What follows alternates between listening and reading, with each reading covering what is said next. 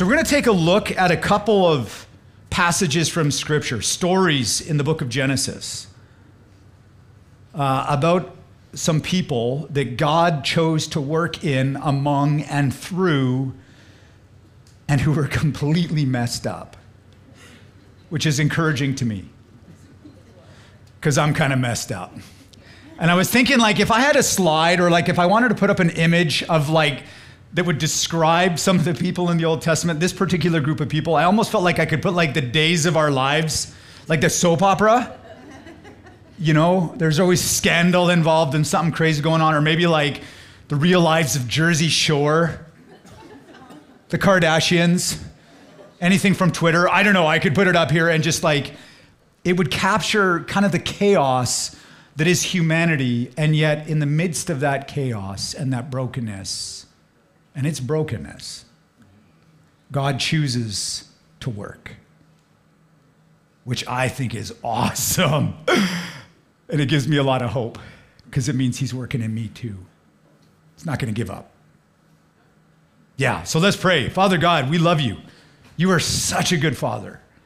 You're so gracious. You're so merciful. You're so holy.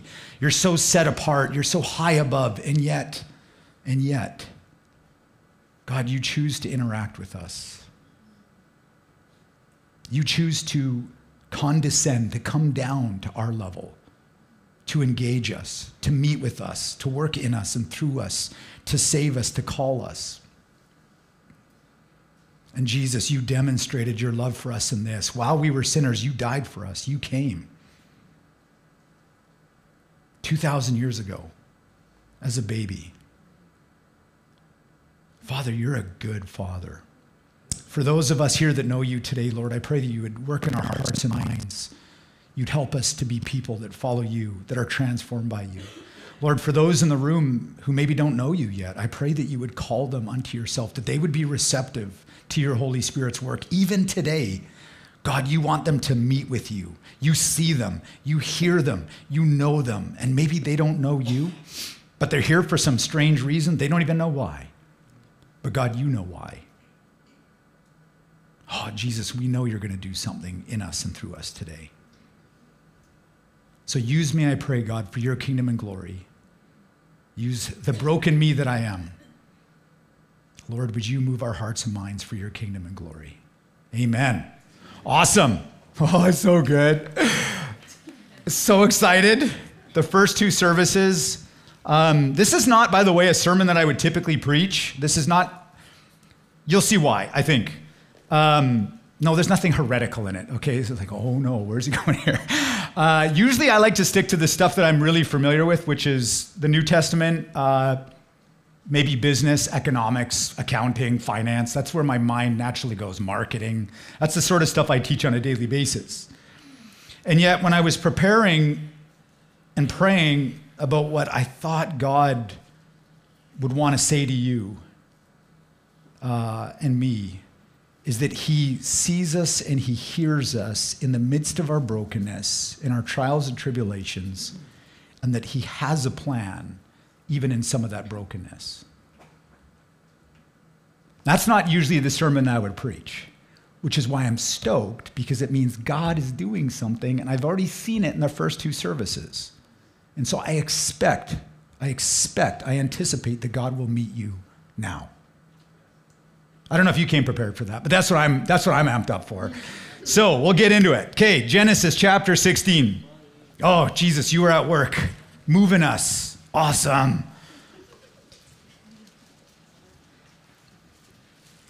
I'd like to think it's the spirit. Maybe it's just caffeine. I don't know.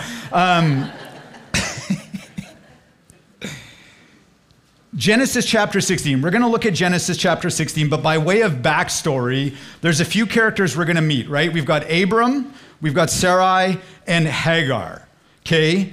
And we'll talk about them a little bit more in depth, but really important to know in Genesis chapter 12, uh, God, which is the first book of the Bible, for those of you, maybe you're, you're new to church, Genesis is kind of the beginning, right? That's what it means, the beginning, and how God is working, what he's up to, humanity's rejection of God, and then God launches into this awesome rescue mission. And he's going to use people to bring some of that rescue mission to fulfillment.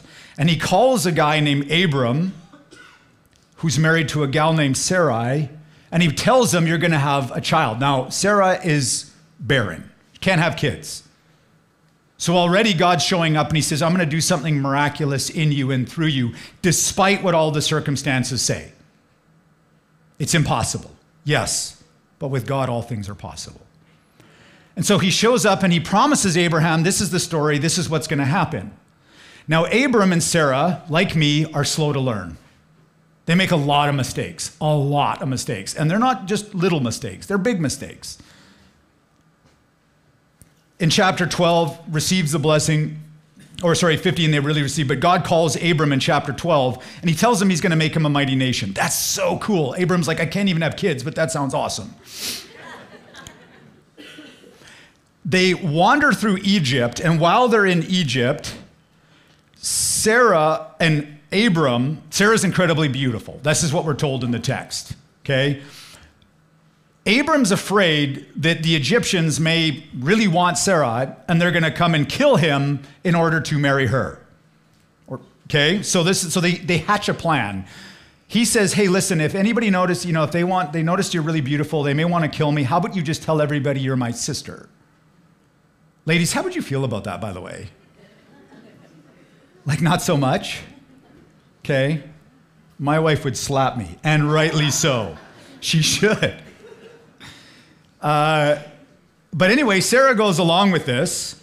Pharaoh ends up being enticed by her beauty and has her come into kind of his harem. Now, we don't see anything happen, but she's there. And all of a sudden, Herod, or sorry, Pharaoh, uh, as part of this whole procedure, pays a dowry to Abram.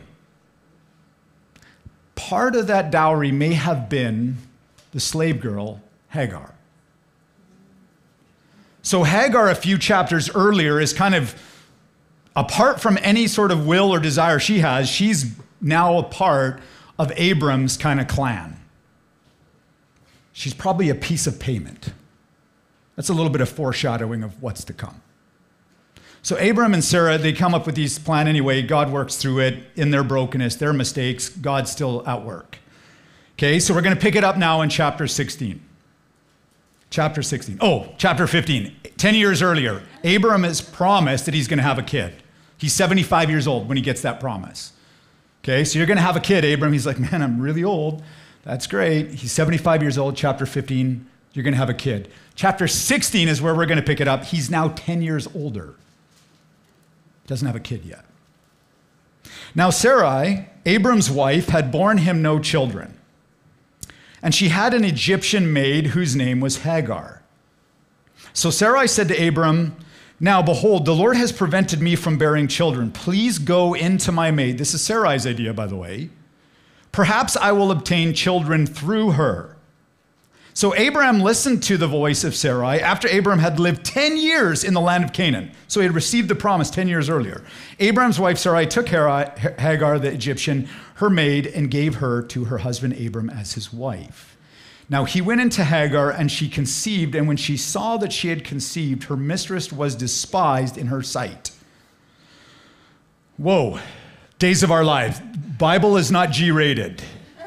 I know we like to clean it up, but it is not G rated. Okay? God doesn't mince failures and mistakes.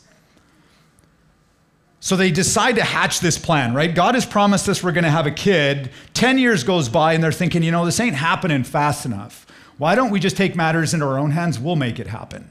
I know how we can do it surrogacy. Now, that's not an uncommon practice during this era, right? Hagar belongs, she's property Okay, again, we don't want to impose our 21st century view on the text. We have to look at it at that time. She is property of Abram. So they're saying anything that belongs to you belongs to us. That includes your womb. That's heavy stuff. Okay? So they come up with this plan. By the way, how much authority does Hagar have over any of this? None. She has absolutely no authority. Okay? She's at the behest of Sarai and Abram. So she has the child, she, she becomes pregnant, and all of a sudden she begins to despise Sarai. I'm not entirely surprised. Human beings being who we are, I could see how that would be a challenge. Okay? Like there, there's a lot of brokenness going on here, right? I mean, Abram's broken. He's willing to do this.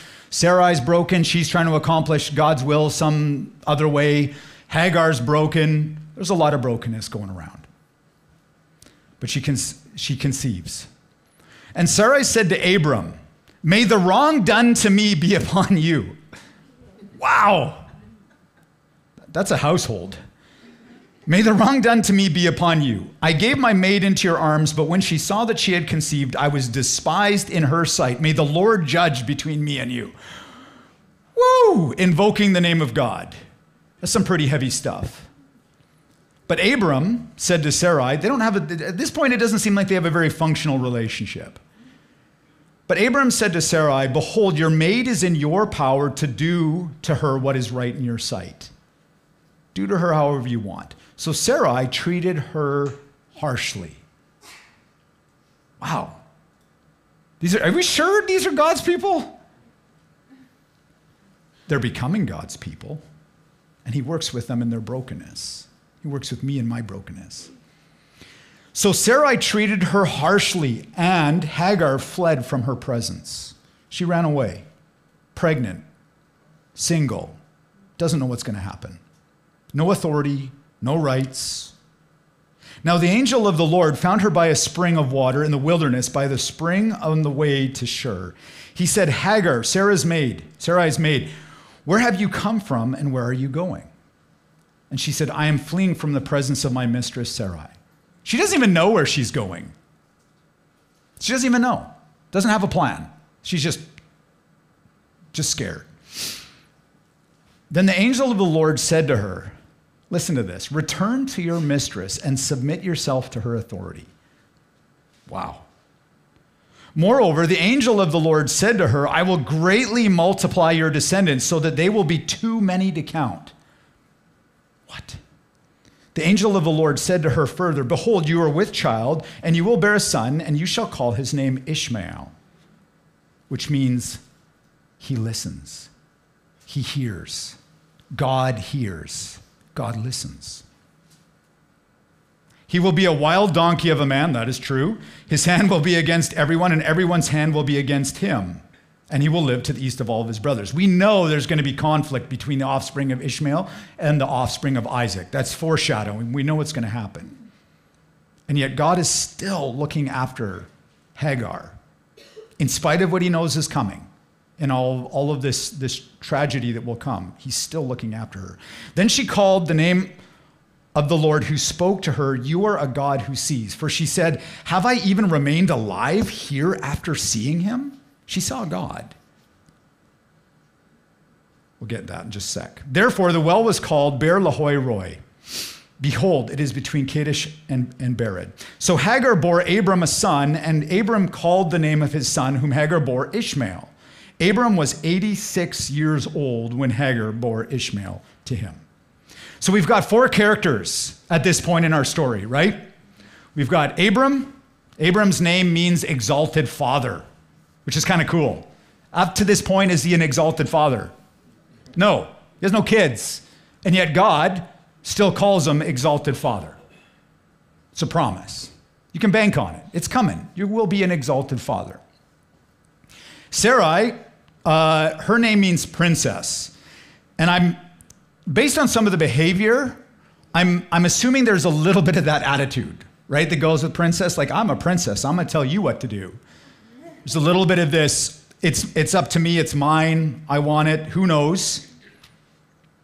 She's the one that came up with the plan with Hagar. She's also accusing Abraham after the fact. By the way, Abraham's response should have been Sarah, I love you. I get what you're trying to do. But no, if God's promised us a child, he's going to do it through you. It's going to be a miracle. It's going to be awesome. But he goes, No, maybe this makes sense. He leans into the flesh and thinks, You know what? I, we can do this. God's made us a promise. Now it's just up to us to take over. Then we come to our third person, Hagar. We, we talked about her.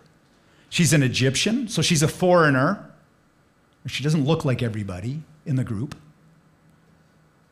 She's a slave, a maid. She's probably fairly young, maybe in her late teens, early 20s. She's a woman, and in that era means she has no real rights to speak of. So she really is at the behest of these folks. She's a minority. She's cast aside. She's kind of this marginalized. She's at the command of Sarai and Abram's will and really doesn't have any authority of her own, right? Broken. So we have Sarai, and yet God sees her. And then we have this fourth character, the angel of the Lord, that shows up, reveals himself to Hagar when she's run away. Now, what's interesting is this, this title, angel of the Lord, is used several times in the Old Testament, but the first time it appears is in this instance. It's used in Exodus chapter 3. Do You guys remember what happened in Exodus chapter 3? God reveals himself to Moses. Where? In a burning bush. So it's it seems that it's God shows up in some sort of physical way. We don't always understand what it means, but God is present. Now, what I love about this story is that we know that Abram has received a promise. We know that Sarai has received a promise. That's beautiful. Hagar, we kind of typically cast to the, the margins, right? The outside. Ah, okay, yeah, yeah, yeah, move on. But is that how God treats her? Not at all. She's out, she's scared, she's running away, she has no idea where she's going, and God shows up on the scene and reveals himself to her. Like, think about it. Like, that's not how we typically operate and function, and yet that's exactly how God functions. You may feel broken. You may feel like you've been cast aside. God sees you, He hears you, He knows you. Oh, that is good news, isn't it? That is such good news. This young woman, God loves. And not only does he show up and just, you know, he's compassionate on her, he asks her where she's going, he also does what? Like, that would be enough, right? If God just showed up and was like, I see you, I'm with you. But what does he do? Blessing upon blessing. I am going to bless that child that's in your womb. Yeah, there's going to be problems down the road. We know that. I'm God, I got this. But I'm going to bless you and I'm going to bless him. And his name is going to mean he hears, God listens. Now, you know what I think is really cool about this story? Another piece? Abraham actually names his son what? Ishmael. Well, where did he get the name from? Where did the name come from? It's pretty obvious. Ishmael, right? Who would have told him? Hagar. Hagar goes back. She was the one that received the name, not Abram. She received the name. So she goes back home. She submits to Sarai and Abram, which I got to imagine is tough, but she knows that God is with her. So she goes back and submits. She tells them the story. I was running away. I was terrified. I was scared. I didn't know what to do. God showed up and met me. He saw me. He heard me. He sees. I'm not abandoned. Me, of all people. And he said, My son's going to be named Ishmael, which means he listens. She gives that testimony to Abram. And Abram goes, Yep, that sounds kind of like how God works with me too. He does the unexpected shows up in ways that I don't anticipate, and yet he's at work. I think that's awesome. Her testimony bears weight because God is behind her. So we see in this story already mankind's ability to mess things up, right? We get involved, we want to take control, and yet when God shows up, he begins to redeem things, he works things. He's there, he's transforming, he's extending mercy and blessing upon Hagar, upon Sarai, and upon Abram. He's going to bless Ishmael. God hears. He will be a multitude. Hagar has a testimony. So let's fast forward. Let's go to Genesis chapter 21. So, so Ishmael grows. He's about 13 years old now. So it's amazing how fast time goes by in the Old Testament, right? You go from one chapter to the next 10 years, 15 to 16, 10 years has gone by. You go from 16 to 21, about 13, 14 years has gone by. Abram is now 99 years old. Sarai is now 89 years old. You know what's a cool thing? Their names have changed. Where it was once Sarai, princess, it's now Sarah. The in the end is God's breath. It's the image of God's breath. He breathes. Sarah's being transformed as God breathes. Abraham has gone from exalted father, it's or Abram, it's now Abraham. It's a, at the end again, God's breath. He's working in Abram. It's now Abraham, which means the chief of a multitude, the father of a multitude. God's like, I'm doing it. I'm doing it. Abram's like, I still don't have that chosen, that, that promised kid. It's going to be through Ishmael, right? God's like, nah, I'm going to bless Ishmael. Sure, that's who I am. I'm still at work. So Hagar's received this blessing. Abram has received this blessing. Sarah has been told she'll be a blessing, and yet it hasn't come to fruition yet. Let's pick it up. Genesis chapter 21. Then the Lord took note of Sarah as he had said. There's a promise, God's going to fulfill it, right? And the Lord did for Sarah as he had promised. So Sarah conceived and bore a son to Abraham in his old age at the appointed time of which God had spoken to him. Abraham called the name of his son who was born to him, whom Sarah bore to him, Isaac. Isaac's the promise. Means he laughs. Because Abraham and Sarah, when God told them they were going to have a kid that old, they were like, yeah, that ain't going to happen. nah, it doesn't work like that right? I think also God laughs. I don't think it's just like uh, Abraham and Sarah laughed. I think God also laughs. He's like, oh, I'm going to do something. It's going to knock your socks off and you guys are going to be blown away. Because that's what God does when he shows up. He does awesome things. So Abraham called the name of his son Isaac. Then Abraham circumcised his son Isaac when he was eight days old, as God had commanded him. Now, Abraham was 100 years old when his son Isaac was born to him. Uh, in the New Testament, it says he considered his body as good as dead. So he knew God was doing something.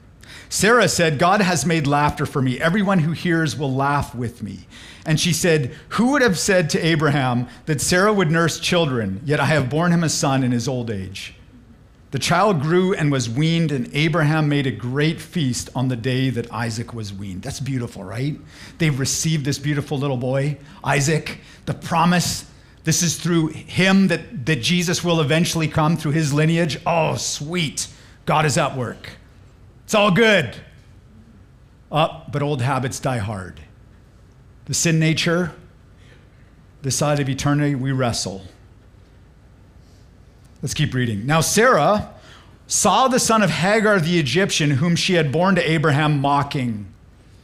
He was mocking Isaac. Now, the, the Hebrew word there can mean mocking in kind of a negative way, obviously, the connotation of making fun of, putting down, mistreating. It can also be used to mean he's being playful. Who knows? Galatians makes the argument in chapter 4 that there is some sort of ill effort there, right? Like, like maybe Ishmael's jealous. We don't know. It's quite possible. Okay? Who knows? I have kids. They tell me stories all the time about what's going on, and I see them behave towards one another. And I can tell you, I don't always know if it's ill or if it's just them just being them. okay? I don't know. Regardless of the fact, okay, Sarah sees this taking place Sarah and Hagar don't have the best relationship. Let's just put it that way. Is that fair to say? Am I misreading the text? I don't think so. She sees this taking place. Therefore, she said to Abraham, Drive out this maid. It's like this maid. It's like, get him out of here. And her son. For the son of this maid shall not be an heir with my son Isaac. Now, Old Testament rule Isaac was the firstborn because he was firstborn of both the head and like male and female of the house. So he was going to receive the inheritance. There was no question about that. But inheritance is power, right? And I think Sarah's saying that's that old nature saying, I don't want anything to do with him. Nothing. Get him out of here. So again, this matter distressed Abraham greatly because of his son. He loves Ishmael. But God said to Abraham, Do not be distressed because of the lad and your maid. Whatever Sarah tells you, listen to her, for through Isaac your descendant shall be named. One real cool piece. This matter distresses Abram, but what does he do? He actually listens to God this time. He goes and seeks God's counsel. He doesn't go off and do it himself. He goes and seeks the Lord. So you see transformation in Abram's life. All of a sudden, he's learning. Slowly, but he's learning. That process of transformation and sanctification is coming to fruition. He is changing. And God says this, and of the son of the maid I will make a nation also, because he is your descendant. He says, I'm going to bless him. I'm going to look after him. I love him. I'm with him. So Abram rose early in the morning and took bread and, and a skin of water and gave them to Hagar. Not exactly a lot of possessions there, provisions. Putting them on her shoulder and gave her the boy and sent her away. And she departed and wandered about in the wilderness of Beersheba. Here she is wandering again. When the water in the skin was used up, she left the boy under one of the bushes. Then she went and sat down opposite him, about a bow shot away. So you think of like an arrow, right? It's a distance away. It's not that far, maybe 100 yards or something like that. Do not let me see the boy die. So Ishmael's about to die. Like this, is, this is dire straits. This isn't just like, oh, I'm a little thirsty. She's weeping.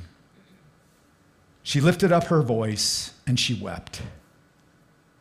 Maybe you feel that way. Maybe you feel that way. Maybe you felt that way. Maybe that's been part of your story. How does God respond? God heard the lad crying. And the angel of God called to Hagar from heaven, this time from heaven, and said to her, What is the matter with you, Hagar? It's not a negative, it's actually a very tender tone. Do not fear, for God has heard the voice of the lad where he is. God sees him, God sees you. Arise, lift up the lad, and hold him by the hand, for I will make a great nation of him. And this is cool. Verse 19 Then God opened her eyes, as he often does with us. And she saw a well of water, and she went and filled the skin with water and gave the boy a drink. Now, God was with the lad, and he grew, and he lived in the wilderness and became an archer. I love that, that God was with him. The promise ultimately comes through Isaac. We know that. He's the promised one. And yet I can't help but think that God even demonstrates his love for Ishmael. God is not willing that any should perish, but that all should come to repentance. He offers us a choice to choose to follow him and to know him. And in this, he is providing for Hagar a blessing as well as Ishmael. What I find so fascinating about this story is it's easy for me it's easy for me to operate in ignorance or blindness to the marginalized. It's easy. It's, it, sometimes it's just default position. You don't even mean it, just, just operate that way. But that's not how God operates. He doesn't operate like that at all. In fact, he sees those who have been cast out and he works. So he sees the marginalized, the broken, the ones who have no control and authority and he wants to work in them and through them. But it's not just there. He also sees Abraham and Sarah and wants to work in them and through them and does so by providing them a miraculous baby, Isaac. So when I read a story like this, I see humanity's mess. Like I see what I'm good at, making messes. And then what I also see is God intervening and saying, even in your brokenness, I'm going to do a work. Even in the mess, I'm going to be there. I will be present. I will be out. I will be redemptive. I will be the one to bring about transformation. And what that does is it gives me hope, knowing that I can't and I don't need to discard anybody. God is at work in them. If you feel like giving up on something, don't give up. Lean in, pray, Ask God to work. He listens, He sees, and not just you, He sees them. That's not mine. Brent's like, wrap it up. No. God is at work. And the application, I think, in our day and age is this, right? Abram and Sarah if you want to think of them this way, they were the ones who had been given the promise. They were the ones that had talked with God. They should have known better. They should have acted a different way. But guess what? They also were work in progress. Sometimes maybe you've been hurt by the church. Maybe things have gone sideways. Maybe you've been the one that's hurt somebody as the church. right? God is still at work, right? God sees you. If you're the one that has caused that, that fallout, then go and seek reconciliation. That's what God has called us to, this beautiful work of reconciliation. But if you've been hurt, maybe you're going through a tough time now, maybe you've been cast to the margins, you've been set aside, maybe it's at work, there's been a promotion you've been looked over for, or maybe it's in a relationship where you feel abandoned. God sees you, He hears you. Keep in mind, it took 25 years. Maybe this is not the part that's so hopeful, but Abraham and Sarah received the promise. It took 25 years for it to come to fruition. Sometimes we want it like that, right? Don't lose hope. God is at work, He sees you, He listens, He loves you, and He loves them we know that the ultimate fulfillment of the promise of Isaac isn't Isaac, is it? Isaac is one step. But who's the ultimate fulfillment of the promise to Abraham? It's Jesus.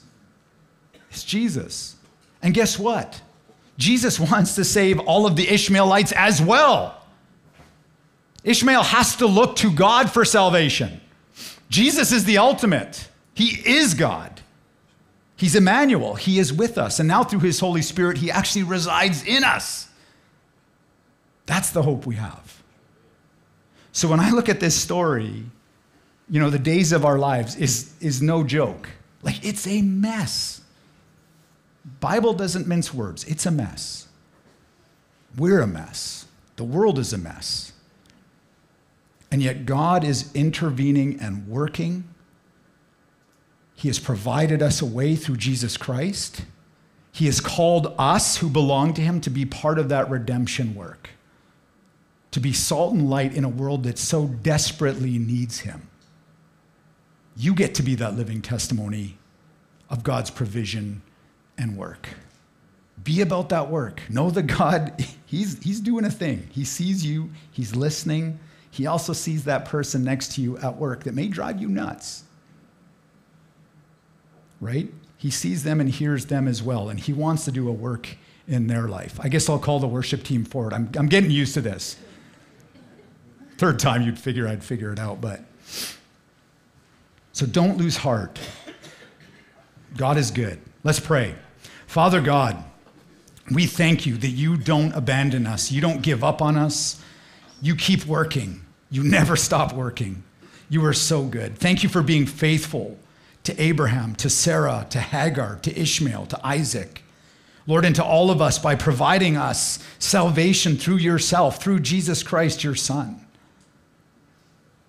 And Lord, over each person in this room, you know where they're at. You see them, you hear them, you know the things and the situations they're in, maybe some of the trials they're facing or experiences they've had, and you want to work in that and through that. Jesus, you are that powerful that you can redeem even broken, broken experiences. Lord, for those of us that know you, we pray that we would sense your presence, we would listen to you, we would praise you because you are at work and we can trust you until we meet you in glory. Lord, for those in this space that maybe don't know you yet, but they've heard this and they're thinking, you know what? I don't belong. Holy Spirit, would you draw them to you? Would they know that they are exactly where they belong, that you desire to know them and walk in relationship with them, that you are calling them to experience you, the living God, just as you did Hagar, just as you did Sarah, just as you did Abraham?